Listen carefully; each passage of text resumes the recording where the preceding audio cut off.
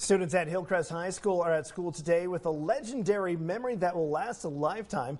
Last night, Foreigner rocked the stage at the Hero Arena in the Mountain America Center with the school's choir singing the famous hit, I Want to Know What Love Is.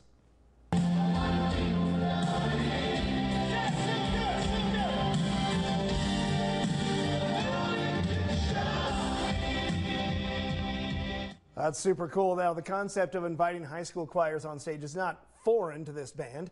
They do it to inspire potential future musicians and to raise money for choir programs, which is very important to the band.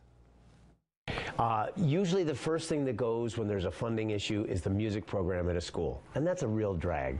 And we want to help that.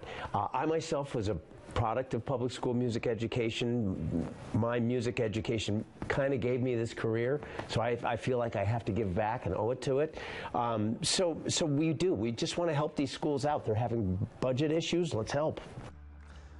Now, proceeds from last night's CD sales will go to help keep music education in schools. On top of that, Foreigner donated $500 to Hillcrest's choir program.